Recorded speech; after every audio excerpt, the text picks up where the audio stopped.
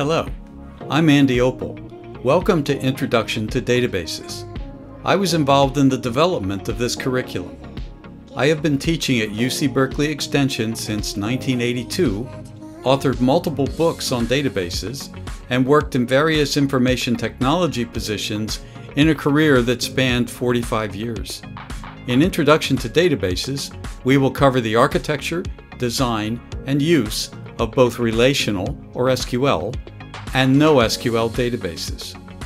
At the end of the course, you will leave with solid foundational knowledge that will further your career opportunities in application development, data management, data analytics, and data science.